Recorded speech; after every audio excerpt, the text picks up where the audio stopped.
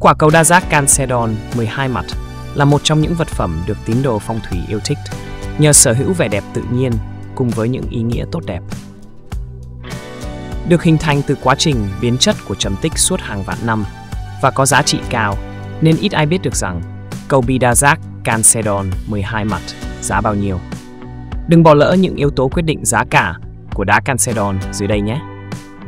Là đá quý có màu sắc và vân đa dạng mà Calcedon được chế tác thành các loại vật phẩm đa dạng từ trụ đá Calcedon cho đến bi đa giác 12 mặt. Trong đó, quả cầu bi đa giác Calcedon 12 mặt được các nghệ nhân mài cạnh một cách khéo léo và đều đẹp. Những yếu tố quyết định giá của cầu bi đa giác Calcedon như plus, kích thước.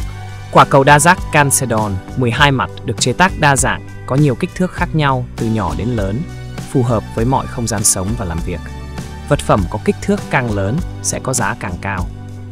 Màu sắc Đá Calcedon được hình thành từ quá trình biến chất của trầm tích, giúp cho đá có nhiều màu sắc khác nhau như trắng, xanh, đen. Màu sắc của cầu bi Calcedon 12 mặt càng đẹp thì sẽ có giá càng cao. Độ tinh khiết Những viên đá tự nhiên được hình thành dưới sự tác động của áp suất và nhiệt độ không giống nhau, khiến cho đá có độ tinh khiết từ cao đến thấp. Với những viên đá 12 mặt có độ đẹp càng trong, ít vết nứt hay vết phèn sẽ tác động ít nhiều đến giá thành của sản phẩm.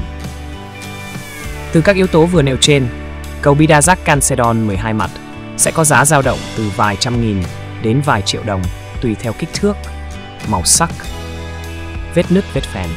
Để đảm bảo chất lượng vật phẩm, gia chủ nên lưu ý tìm mua cầu Bidazak Calcedon ở những cửa hàng uy tín, có giấy tờ chứng minh được nguồn gốc xuất xứ để tránh mua phải hàng kém chất lượng.